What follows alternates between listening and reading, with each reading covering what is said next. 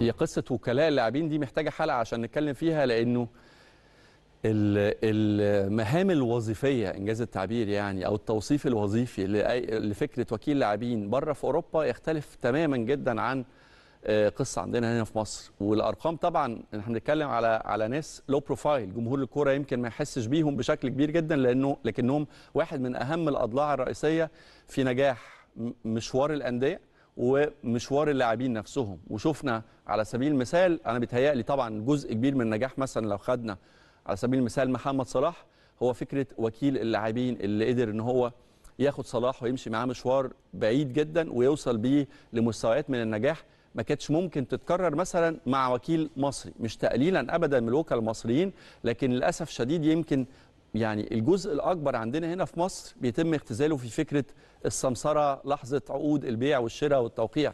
أكتر من كده الأدوار ممكن تبقى محدودة شوية وعدد قليل قوي هو اللي بيقدر أو بيحاول يشتغل بشكل احترافي. نيجي بقى لقصة مودست والسن. ناس كتير قوي هجمت الصفقة بس بمجرد ما تم الإعلان عنها. خد بالك هنتكلم على لاعب دولي في منتخب كبير منتخب بطل عالم منتخب مرشح دايما لأنه يكون صاحب مركز أول. آه، أنتوني مودست مهاجم دولي في منتخب فرنسا أو كان مهاجم دولي في منتخب فرنسا لاعب مع منتخب فرنسا.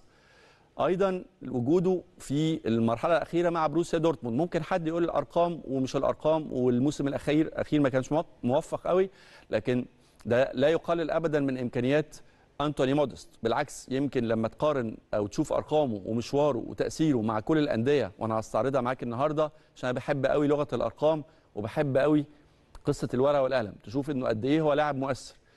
وما عنديش شك كمان إنه في التوقيت ده أو في المرحلة دي الخبرة بتلعب دور كبير جدا جدا جدا. وأعتقد إنه مستر مارسيل كولر يقدر وده رهان تاني إنه أنتوني مودست مع مارسيل كولر توليفة دويتو تقدر تراهن عليه جدا جدا جدا في نجاح الصفقة إن شاء الله وإنها تأدي الدور المطلوب منها في الفترة اللي جاية. لكن هرجع مرة تانية للمشوار وللخبرة. طبعا الطياره بتاعت النادي الأهلي أقلعت من مطار القاهرة ودي لقطات لطائرة النادي الأهلي اللي طبعا بتسافر في على يعني على متن طائرة خاصة للمملكة العربية. دي شوتات من آه، داخل طائرة النادي الأهلي. نتمنى لهم طبعا يوصلوا بالسلامة. وهنتابع مع حضراتكم على مدار ال- الأيام اللي جاية. يعني بكرة حلقة السادسه هنخصصها بشكل كبير جدا طبعا لتفاصيل رحلة الأهلي في السعودية في أول يعني النهارده كان في تمرينة الصبح آه، تمرينة خفيفة كده آه، 40 دقيقة تقريبا. وشارك فيها مودست زي ما حضراتكم شفتوه في ال في ال يعني في الدقائق الأولى من حلقة النهارده واللعيبة استقبلته ودخل في الأجواء. وبأكد مرة تانية إنه من الناحية البدنية هو جاهز من الناحية الفنية هو جاهز. يبقى فكرة آه، قدرته على إنه آه، يدخل مع مستر مارسيل كولر آه، يدخل مع الفريق حالة الانسجام. ولو إني أعتقد إنه لاعب خد بالك أنت أنت بتتكلم على لاعب لعب في 14 نادي تقريبا طول مشواره. ففكرة الانسجام فكرة إنه يدخل ما أعتقدش إنه هتاخد منه وقت كبير. واعتقد كمان الجزء اللي يضيف لمارسيل كولر اللي الناس ممكن تشوف فيه ناحية سلبية أنا معاك طبعا إنه السن كبير مش هتقدر تستفيد بيه لسنين طويلة.